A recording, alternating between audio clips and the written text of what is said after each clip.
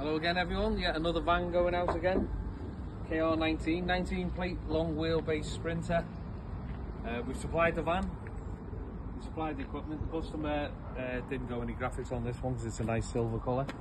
Uh, I'll just put the lights on and show you the lights. Think you're used to seeing them by now.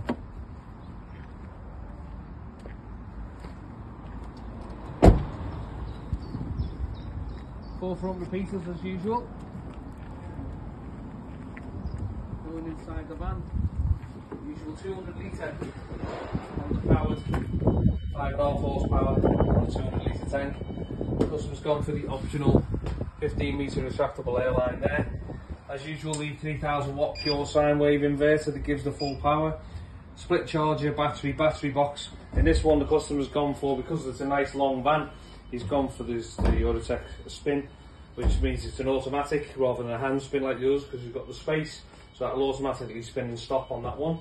On this one, he's gone for the T2000 Pro, three point assist arm, 26 inch turntable to do a 24.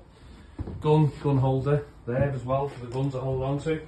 And at the back here, if you come through, we built two boxes to stop the jacks. This is a new thing we do. Basically, they hold the jacks because people have a problem with putting the jacks in the back. That way the guy can lift them out the back. And they're two and a half ton low profile, which are ideal for lifting your low ones like your BMWs and things like that. And then you've got your LED lighting as usual there and the sockets along the wall.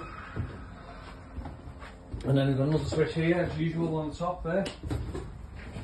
And that gives you, again, perimeter light which you won't get much benefit from because it's quite light.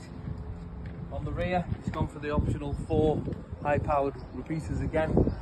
Another lights on the rear and the large truck master on the roof. This van is the got the reverse camera as well, come with the reverse camera option.